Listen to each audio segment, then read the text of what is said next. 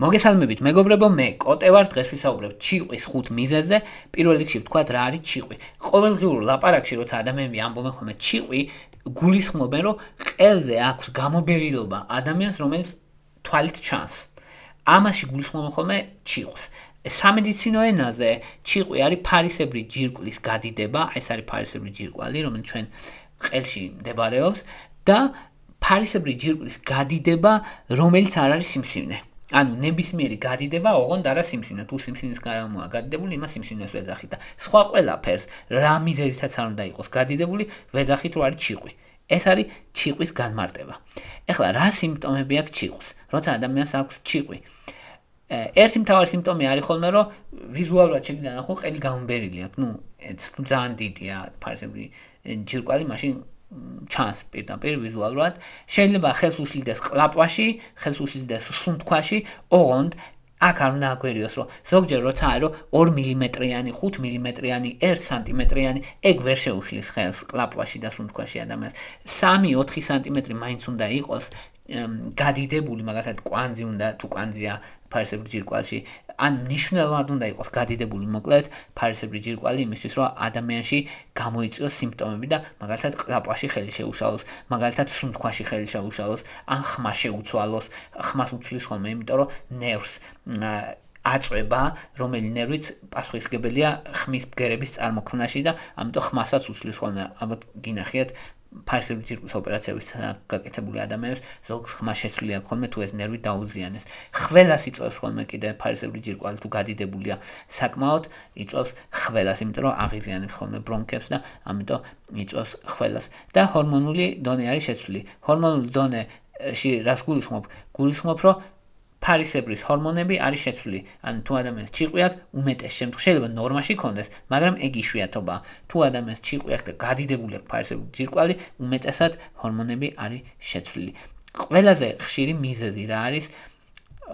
ჩიყვის. ყველაზე ხშირი მიზეზი არის იოდის დეფიციტი. ეს საქართველოში ახლა დიდად აღარ გვეხება, იმიტომ რომ საქართველოში რა მარილი შემოდის, ყველა არის იოდიზირებული. კანონია ესეთი მოკლედ, რომ რა მარილი შემოდის, ყველა არის იოდიზირებული, ამიტომ იოდ საკმარისი რაოდენობით ვიღებ და აი ის სისულელია ახლა რომ იოდს ასხავენ საჭმელში, რომ მოდი იოდი მივიღო და ასე შემდეგ. არა, მარილს თუ ჭამ, საკმარისი იოდს ღებულობ, ამიტომ იოდის დეფიციტი არ გექნება და იოდის დეფიციტით გამოწვეული ჩიყვიც მაღალი ალბათობით არ გექნება.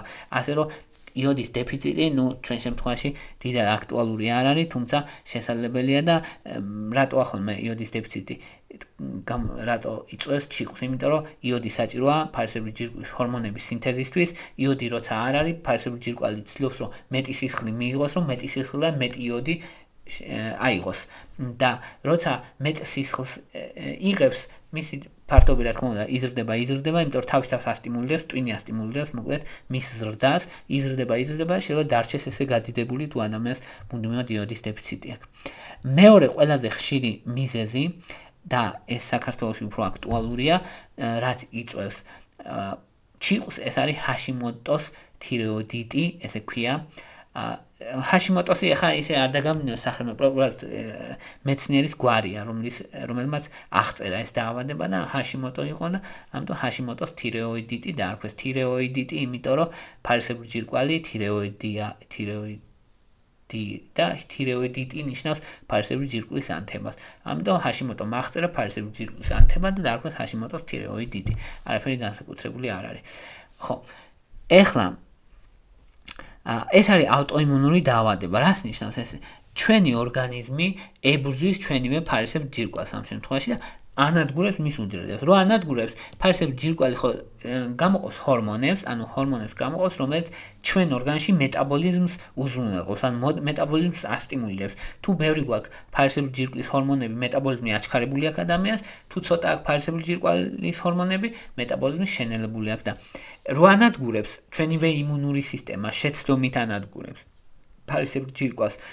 რა მოუვა ფარისებ ჯირკვალს?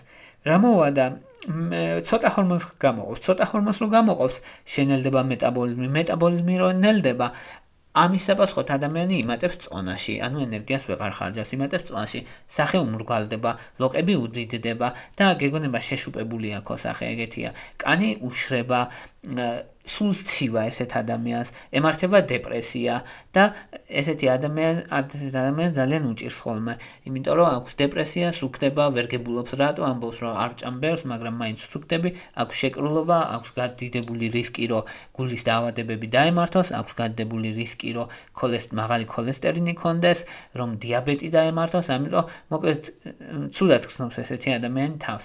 ამიტომ საყურადღებოა, იმიტომ რომ ერთ-ერთი პირველი რასაც როცა ადამიანი გას გაფრთხებულია ჭარბი წონა აქვს და ვერ იკლებს, ეუბნება რომ წადი ჰორმონები გამოიკვლიე, ფაისებრი გამოიკვლიე, რატო ეუბნება? იმიტომ რომ არ იყოს ჰაშიმოტოს თირეოიდიტი.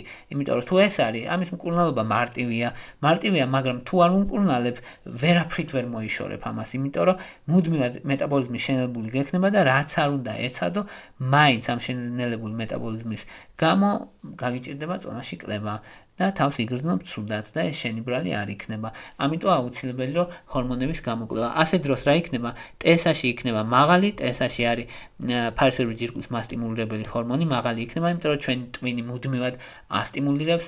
ხო, ხედავს რომ ტვინი ხედავს რომ ვა ცოტა ჰორმონებს გამოყოფ, უნდა გამოყოფდე ბერს. მოდი მაშინ დაგასტიმულირებ, ანუ გამოგიგზავნის სიგნალს რომ მეტი ჰორმონი გამოყო და ეს არის ზუსტად ეს TSH-ია.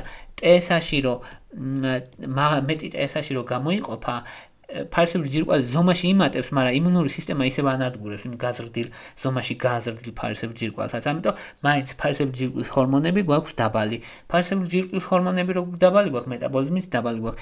ტვინი კიდე მეტ TSH-ს გამოიმუშავებს, ანუ ფარისებრი ჯირკვის მასტიმულებელ ჰორმონს გამოიმუშავებს. ის რო დაასტიმულიროს კიდე და ეს მანკერი წრე არის. ამიტომ ლაბორატორიულად რა გვექნება? TSH-ი მაღალი გვექნება, ფარისებრი ჯირკვის ჰორმონები დაბალი გვექნება. და ოპ გუმ ეჭვი მიგაკ ჰაშიმოტოს თირეოდიძე თან თუ გადიდებულია ფარისებრი ჯირკვალი მაგ დროს.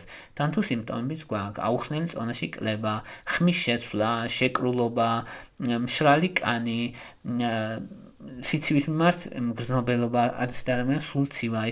ოთახში რომ ყოველას ნორმალურად აცვია ეს ადამიანი ჩაფუტნულია იმიტომ რომ სულ ცივა და ამბობს რომ ვიყინები აუწიეთ კონდიციონერს ანუ იმას გათბობას აუწიეთ თუ ამბობს ხოლმე. კურნალობა არის მარტივი კურნალობა არის ლევოთიროქსინი. ლევოთიროქსინი არის პრეპარატი რომელიც იგივე ჩაოლებრივი თიროქსინია ფარისებრი ჯირკვლის ჰორმონია. მოკლედ, იმ ჰორმონს რაც გვაკლია, ვიღებთ სვავთ რა დოზაც გვჭირდება. ეს არის მკურნალობა. მკურნალობა მარტივია, მაგრამ ძალიან დიდი შედეგი აქვს, ძალიან ეფექტურია. მესამე მიზეზი რაც იწვევს ფარისებრი ჯირკვლის გადიდებას არის გრეივსის დაავადება. ეს არის შებრუნებული დაავადება იმის. აი შეხედეთ, როგორი სახასიათო სახეა ამ ადამიანს და აი ესეთი სახასიათო სახეა ხოლმე იმ ქალებს, ქალებს ემართება ძირითადად პირველი და მეორე დაავადება ძირითადად ემართება ქალებს. ოღონდ აი ეს ჰაშიმოტოს თირეოიდიტი ემართება ძირითადად 40+ ქალებს და გრეივსის დაავადება ემართება ახალგაზრდა ქალებს და აქ გვაქვს შებრუნებული სურათი. ამ გრეივსის დაავადება ვისაც ეს ადამიანი არის გამხდარი ოფლიანობს ადვილად, ხელები უკან კალებს, გული აჩქარებული აქვს, გეუბნება რომ არითმიები აწუხებს, გეუბნება რომ შეიძლება ბევრი ჭამოს, მაგრამ არ იმატებს, დიდად არც შია, რატო? იმიტომ რომ აქ პირიქით სიტუაცია გვაქვს. იქ თუ ფარისებრი ჯირკვლის ჰორმონები დაკლებული გვაქვს, აქ ფარისებრი ჯირკვლის ჰორმონები მომატებული გვაქვს. მომატებული რატო გვაქვს? აქ ისევ ავტოიმუნური დაავადებაა, ჩვენი ორგანიზმი ისევ უტევს ფარისებრი ჯირკვალს, ოღონდ კი არ ანადგურებს ამ დროს. ის ანტისხეულები, რომელსაც ორგანიზმი გამოყოფს, ძალიან გავს ფარისებრი ჯირკვის მასტიმულირებელ ჰორმონს და პირიქით ასტიმულირებს, ანუ არათუ ანადგურებს, არამედ ასტიმულირებს ფარისებრი ჯირკვალს. ამიტომ საპირისპირო შედეგი გვაქვს და ეს პირიქით აისახება გვაქვს აჩქარებული მეტაბოლიზმი. აჩქარებული მეტაბოლიზმის შედეგია, რომ ესეთი ადამიანი გამხდარი, ხშირად ოფლიანობს, სულ ცხელა, ყოველას რო ცივა იმას ცხელა შეიძლება მოკლე მკლავიანებით იყოს. თვალები აქვს წინ გამოწეული, ან ბალჯინგ ქვია და ეს ერთ-ერთი სახასიათო ნიშანია გრეივსის ოფთალმოპათია ქვია ამას, როცა ეს თვალები არის წინ გამოწეული. და ესეთი ადამიანები არიან ნერვიულები, გავფრენებული ხელებით, უკანკალებთ ხელები, ოღონდ აი ესე ძალიან კი არ უკანკალებთ, ნაზად უკანკალებთ და ადვილად ღიზიანდებიან, ეს არის გრეივსის დაავადება. გრეივსის დაავადების დროს როგორი გვაქვს სურათი ლაბორატორიული? ასე დროს გვაქვს პირიქით TSH-ი გვაქვს დაკლებული და სამაგეროთ ფარისებრი ჯირკვის ჰორმონები გვაქვს მომატებული. და რა გვაქვს მკურნალობა ესე დროს?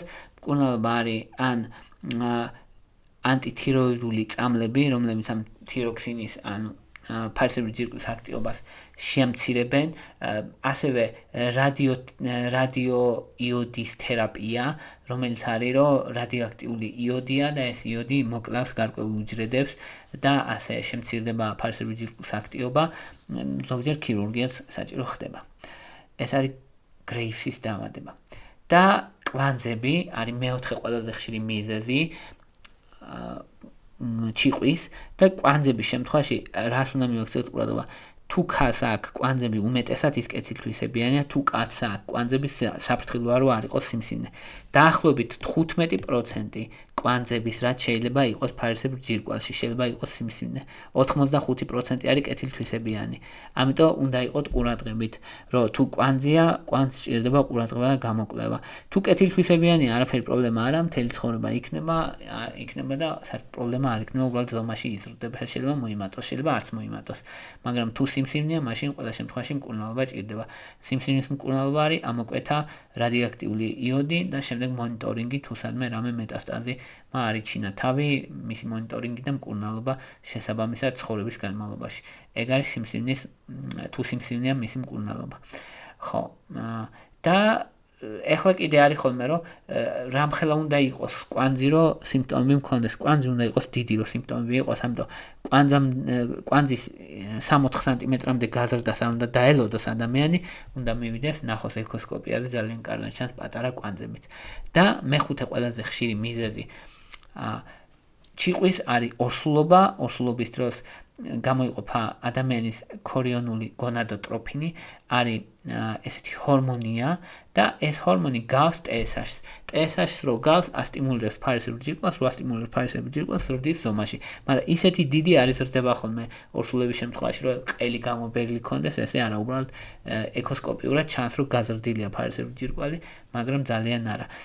ჰორმონები როგორც წესი ნორმაშია ხოლმე, შეიძლება ცოტათი მომატებული იყოს და ეს ორსულობაში შედარებით ნორმად ითვლება. ეს იყო რისი თქმაც მინდოდა, მადლობა რომ მისმენდით, მადლობა მადლობა რომ გაინტერესებთ. თუ მოგწონთ ჩემი ვიდეოები, დალაიქეთ, გამოწერეთ ან გააზიარეთ. ეს ჩემთვის იქნება სოლიდარობის გამოხატულება და დამეხმარება და თქვენ კიდე мотиваციას მომცემთ, რომ სხვა უფრო კარგი, კარგი და საინტერესო ვიდეოები გადავიღო. მადლობა ყურადღებისთვის.